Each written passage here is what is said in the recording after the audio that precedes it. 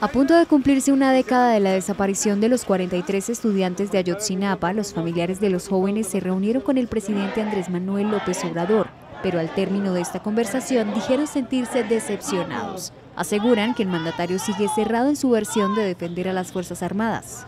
Pues me quedo totalmente insatisfecho, o sea, no, pues decepcionado, la verdad, porque no asumió los compromisos donde en su campaña pues prometió, donde la línea de investigación.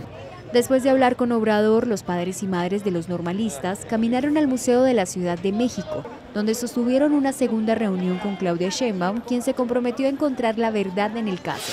Para eso dijo que diseñará una ruta en cuanto asuma la presidencia el próximo primero de octubre y se reunirá nuevamente con los padres de los estudiantes después de esa fecha. Con el presidente hay, hay diferencias ¿verdad? respecto del caso de fondo.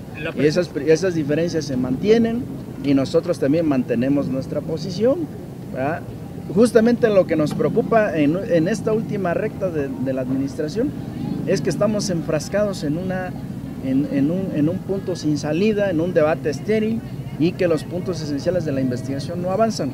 Estas reuniones se desarrollan en un clima de creciente tensión tras la difusión de una carta en la que López Obrador defendió a las Fuerzas Armadas y acusó a los defensores de derechos humanos, organismos internacionales y periodistas de desprestigiar al ejército.